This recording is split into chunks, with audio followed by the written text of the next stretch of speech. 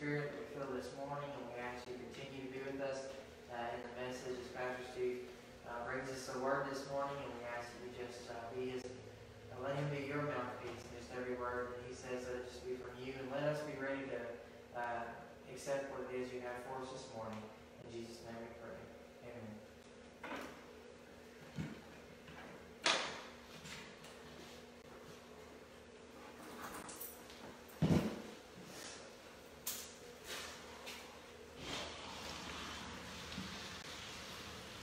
Good morning, Refuge Church. Today's scripture reading is out of Second Chronicles, chapter 7, starting in verse 10. It says this And on the three and twentieth day of the seventh month, he sent the people away into their tents, glad and merry in heart for the goodness that the Lord had showed unto David, and to Solomon, and to Israel his people.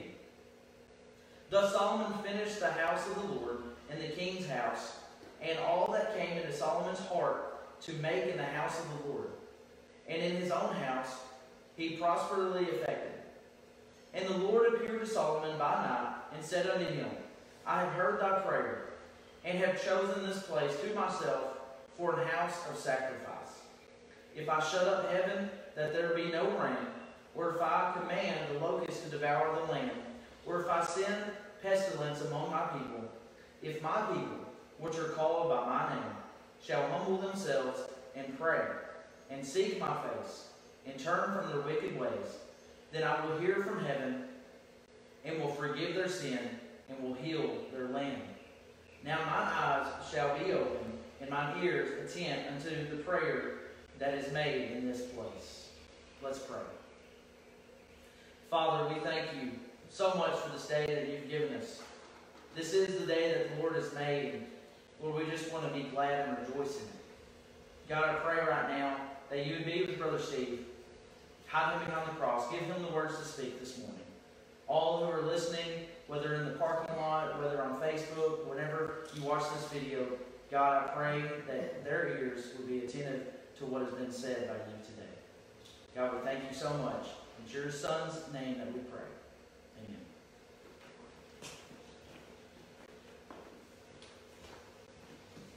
Well, it all started about 15 years ago. It started with me driving down the street and coming up to the stop sign. And when I got to the stop sign, everything started spinning. I had no clue what was going on other than I knew something wasn't right. Shortly thereafter, I come home and I'm sitting down in a chair. And as I'm sitting there with my family in the chair, it really feels like someone had grabbed a hold of the chair and started spinning me around and around and around. Felt like I was going 60, 70 miles an hour, nonstop. Started getting sick at my stomach. Started wondering what is going on and what's wrong with me. From that point on, we knew that there was something wrong, and I started going to the doctor, trying to figure out what exactly is happening with me. What's going on? As I go to the doctor, they run all kinds of tests. They turn me upside down. They put liquid in my ears. They try all these different things, and they couldn't find out exactly for sure what was wrong. Then I noticed some other things was happening. Believe it or not, a pretty calm guy. I'm an introvert. I usually take things pretty easy. I think them through before I react, at least up until this time. Now all of a sudden, I was reacting to things differently. I was becoming quite irritable with my family. In fact, since then, it probably hasn't gotten a whole lot better. But I started becoming irritable at little things and started losing my temper and saying things like I'd never done before. And so my wife tells me she knew something was going on but couldn't figure it out. Finally, I knew there was something major wrong when one day I was a youth pastor at the time in Virginia. One day I'm sitting down and I don't even remember what I was doing at the computer. I don't know if I was preparing a game, a slideshow for the youth, or preparing a message. But as I'm sitting there and uh, typing away, all of a sudden everything it seems like just goes blank. I just sit there for several minutes wondering what's going on. Why am I not thinking straight? I couldn't think of anything. After what seemed like ages, but was probably only about five or ten minutes, I come back to and I realize I had been sitting there just thinking blank thoughts and doing nothing for several minutes. I just completely blacked out. I didn't know what was going on, but I knew this that I was the patient. I had a problem, and I needed a physician to tell me what was wrong. And once diagnosed, I received a prescription. Now, some of you may know exactly what this feels like. Maybe you had other symptoms.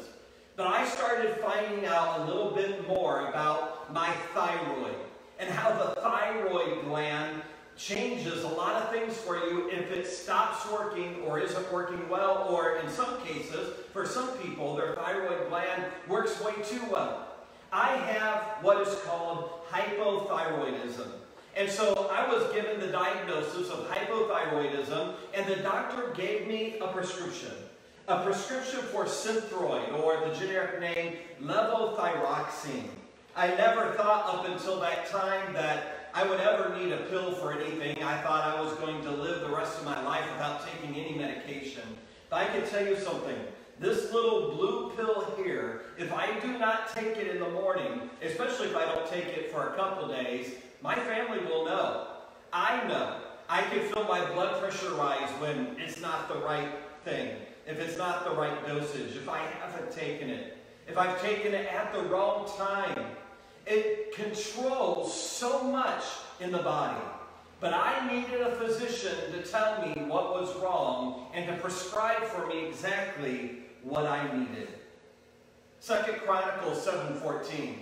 Many of us have probably heard sermon after sermon on this. In fact, if you've been on Facebook or listening to any other pastors right now, it seems to be like every once in a while something happens in our nation where this becomes the megaverse. And once again, I've heard this verse shared so many times.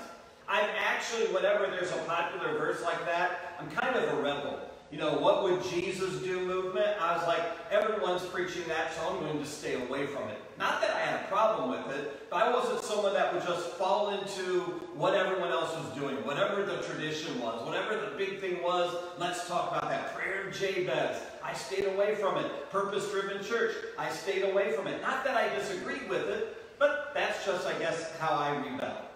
And so whenever it comes to Second Chronicles 7.14, I believe, I may be wrong, I believe this may be my first sermon on it. And I believe the Holy Spirit wanted me to share this scripture with you this morning.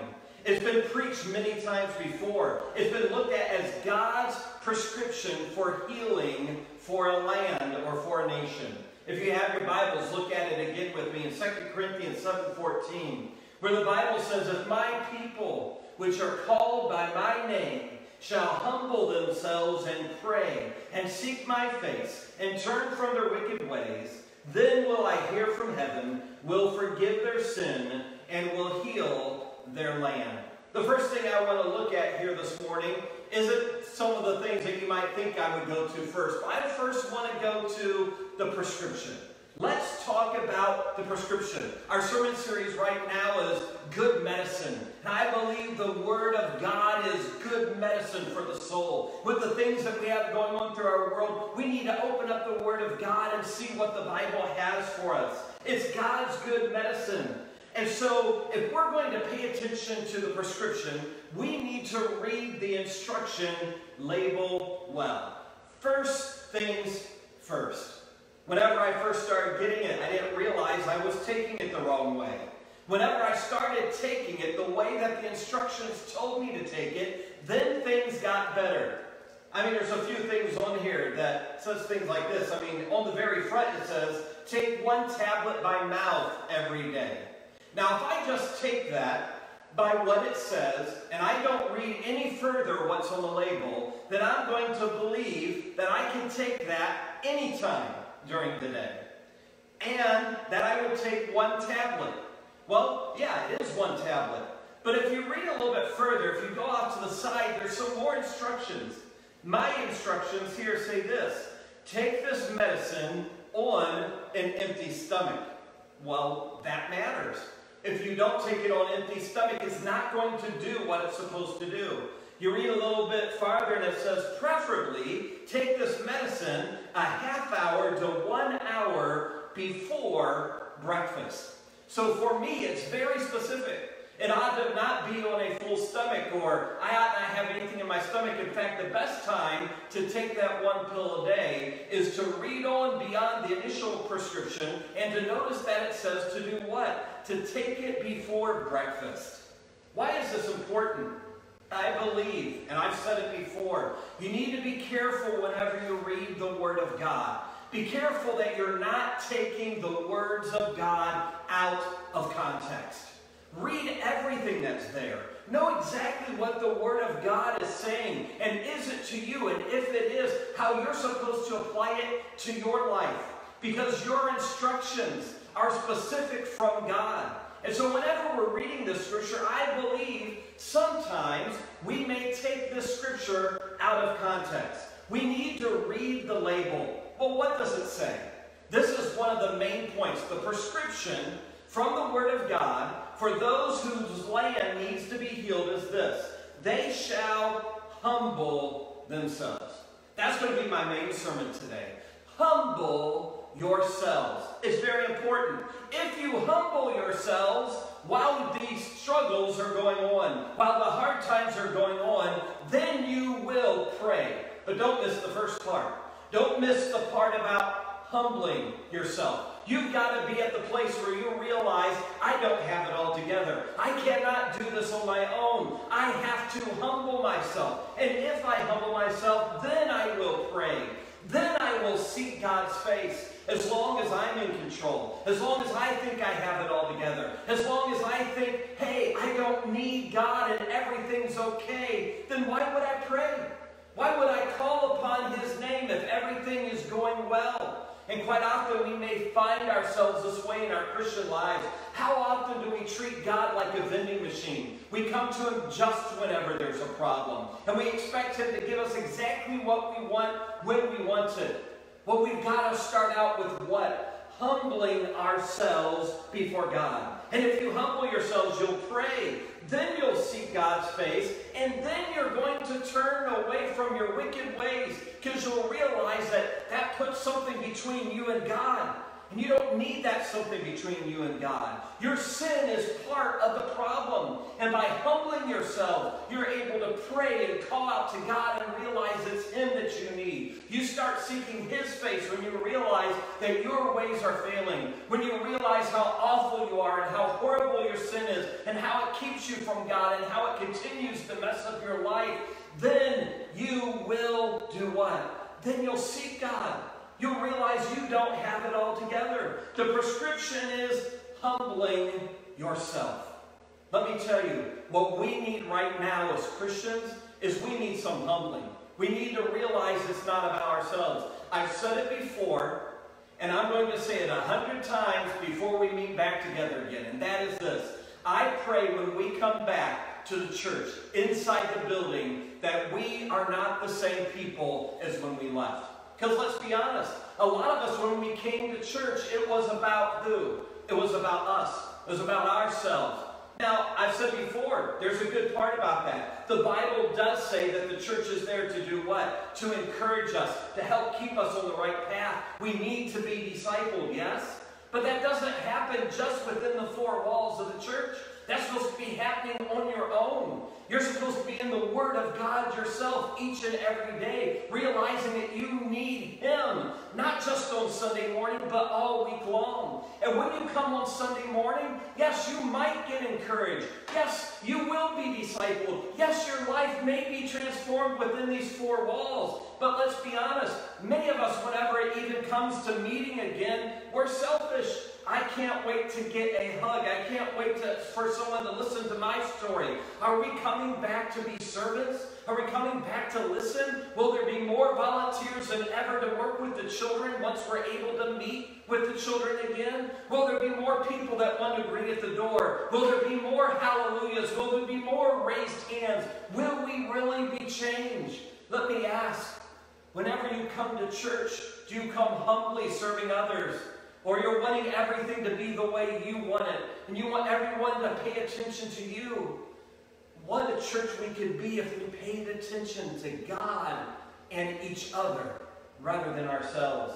Yes, the prescription is what? We need to humble ourselves. Well, who's the prescription for? Who is the patient? Well, let's identify the patient. Right here on the label, it says Stephen T. Hinkle. And then it has my address, just in case there's more than just one Stephen Hinkle at my Walgreens.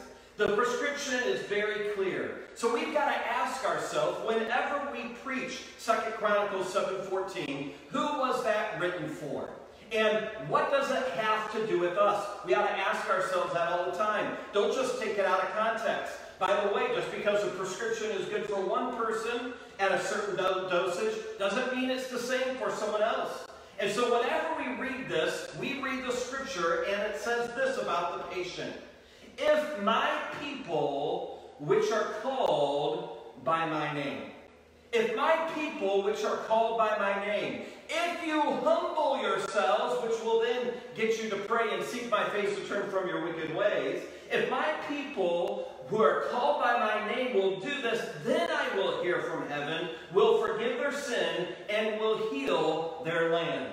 This prescription isn't going to work for just anyone. Now, don't get me wrong. I think you'll understand in just a minute. To be clear, these are God's words spoken to Solomon, the king of Israel. The land or the nation here that is being referred to was the land of Israel. So, can Christians in America find any appropriate application from this text? Is this a prescription for us as well? Well, of course. But don't miss this. Don't miss the prescription of humbling yourselves. Don't miss the humble yourselves part. This prescription is for God's children, specifically the Israelites, but we can learn from it. Don't forget what Paul said in Romans chapter 1 verse 16. For I am not ashamed of the gospel, for it is the power of God for salvation to who? To everyone who believes, to the Jew first, and also to the Greek. Man, something amazing about Jesus Christ and his salvation is it is available to each and every person who is willing to what? Humble themselves willing to repent of their sin, realize that they are in need of a Savior and a King, and they turn from their wicked ways. They trust Jesus Christ as their Savior. That is just as much available to you today as it was to the Jews. In fact, the Bible lets us know, yes, the Jews, the children of Israel, they were God's children. However, what does he tell us? That we can be adopted into his family that he died also for us. And through salvation, we can know that he is our king and he is our savior. Everyone who calls upon the name of the Lord can be saved. So yes, whenever the scripture tells us here that we need to humble ourselves and seek his face, this scripture can be talking to anybody who is a born again believer. But I want us to notice something here. Paul, in his scripture here, wanted to humble both the Jew and the Greek. That's the reason he said what he did. He wanted the Jews to be humble to know this isn't just about you. But he also wanted the Greeks to know that they were included in God's plan. He made them, Paul, through this statement, deeply aware that they needed to depend entirely on the mercy of God. In other words, what they need to do, whether they were Jew or Greek, no matter what their nationality was, they needed the same Savior. And they needed to humble themselves. God's kingdom, everyone who believes. It was about God's kingdom. And so this verse, it can speak to us.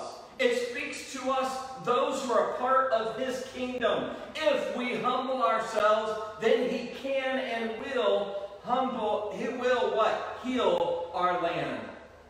So let's come back to the prescription of humble yourselves.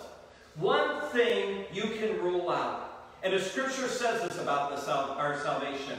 It's not of ourselves. Why? Lest any man should boast.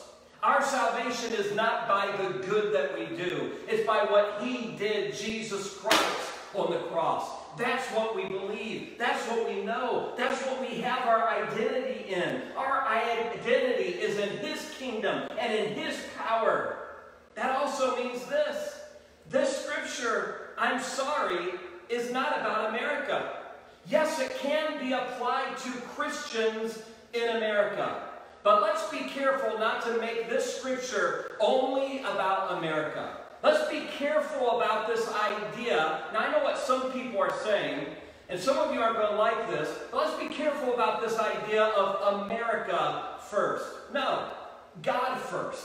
And if we put God first and we humble ourselves and we obey what He tells us to do, we're going to find out what? God tells us to fall in love with Him and to fall in love with other people. You see, falling in love with ourselves isn't the problem. That's our sin. That's our pride. That's our selfishness. And so, if we are truly followers of God, whether we live in America or any other nation, we need to humble ourselves, realize who we are in God, and that we are not better than anyone else, and we are to do what? Love God and love other people. We need to humble ourselves. Even Christians in America who think we've got all the answers and we've got it together and God's going to bless us because we are in America.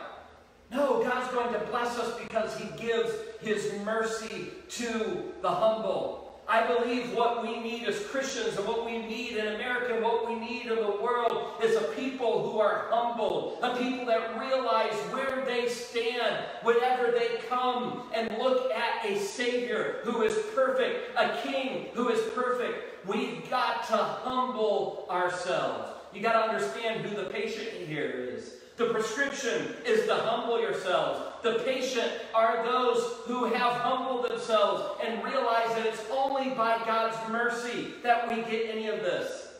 Don't miss the problem, though. Right now, I believe in our world, we've got a problem, don't we? We don't know exactly what that problem is. We all have different viewpoints. I believe we all have different viewpoints because even those who claim to know it all are still trying to figure it out. They don't understand this virus. You know, I don't know that it's necessarily everything is a conspiracy that's going on. I believe there's just a lot of confusion. It's the reason we need to pray for our president. It's the reason we need to pray for our world. Because there are a lot of confused people trying to do what? Figure this all out. And yeah, there are those who will play one side or play the other side. But let me make something very clear here, and that is this. We have a problem.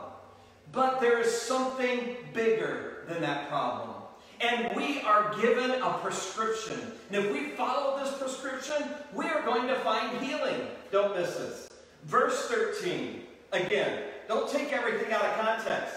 We notice verse 13, and by the way, it's not necessarily, again, talking about America, but we can apply this. The Bible is there to help us. Look what verse 13 says.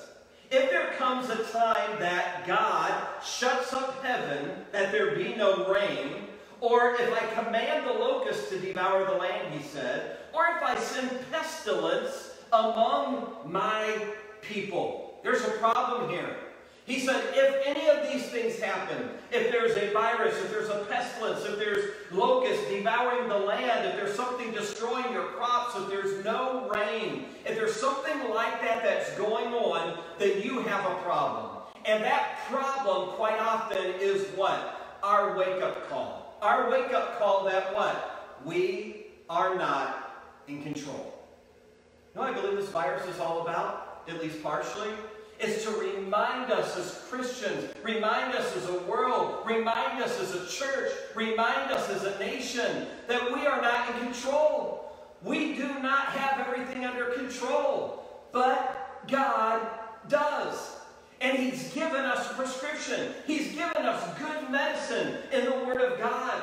When the time comes that something beyond your control gets your attention, then what do you do with it? Yeah, Something that was out of my control got my attention. I was dizzy. I was blanking out. My anxiety was out of control. I was quite irritable. And that woke me up to know I've got a problem and it needs to be fixed. Oh, woe to us if we go through all this and we don't wake up.